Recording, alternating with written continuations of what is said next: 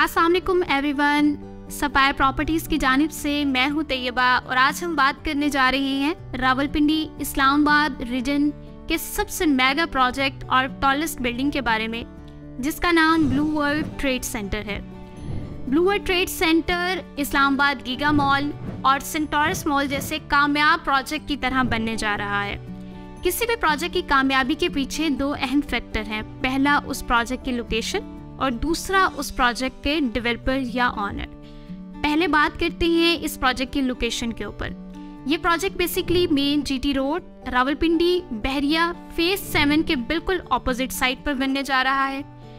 इसके अलावा paradise commercial का सबसे बड़ा कमर्शियल बनने जा रहा है। दूसरा बात करते हैं इस प्रोजेक्ट की डेवलपर्स या ऑनर्स के बारे में।